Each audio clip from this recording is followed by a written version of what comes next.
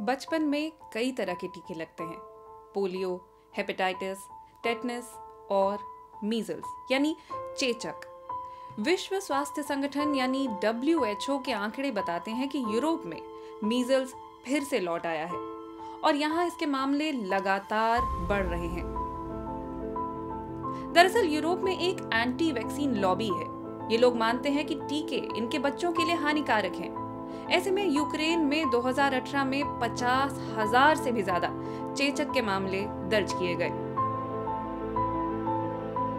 ये एक घातक बीमारी है जो खांसने और छींकने से फैलती है।